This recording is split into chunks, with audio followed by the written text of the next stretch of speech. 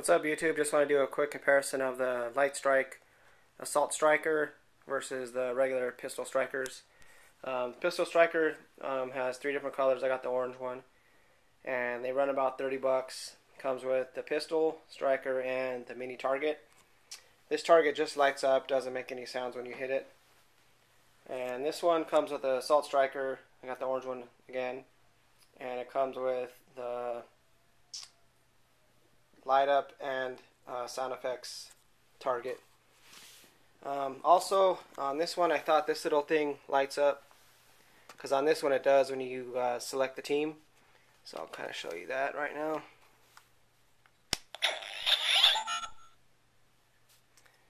Go ahead and hit the fingerprint. Fingerprint accepted. So when you do the team select,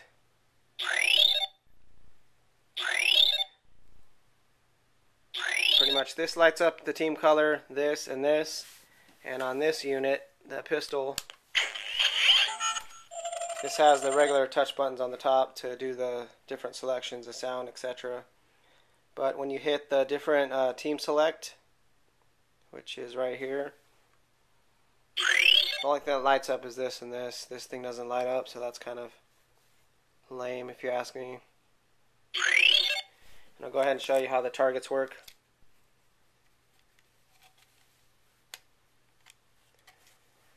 So, go ahead and turn them on.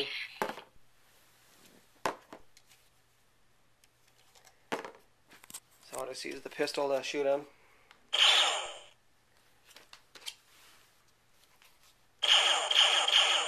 So that one just lights up, doesn't make any sound or anything. This and if you shoot it, it actually makes a noise when you hit it. So I don't know if you could hear it over the gunfire, but let me turn it down here so you can actually hear the target. Let me change the color. So it'll shoot green now. Now I can hear the target making a noise. Then this one just registers the color. So, so that's the difference pretty much.